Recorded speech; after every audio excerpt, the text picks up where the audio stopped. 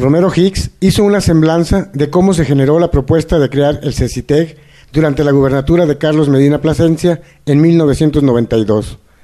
Antes de pensar en esta institución educativa, había el proyecto de crear un colegio de bachilleres que no se pudo lograr en tiempos del exgobernador Rafael Corrales Ayala. Hace algunos años, en 1992, y varios de todos de aquí no habían nacido, me tocó acompañar al entonces gobernador de Guanajuato, a don Carlos Medina Plasencia, a una reunión a la Secretaría de Educación Pública, en donde se iba a igualar el proyecto educativo del bachillerato.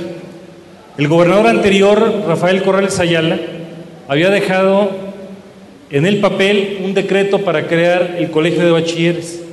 Lamentablemente no tuvo el tiempo y el recurso para llevarlo a puerto.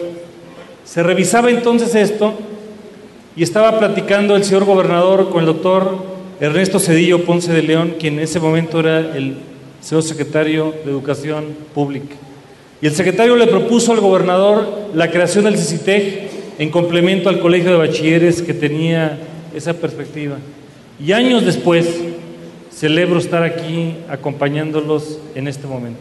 Con imagen de Víctor Torres informó Alejandro Flores.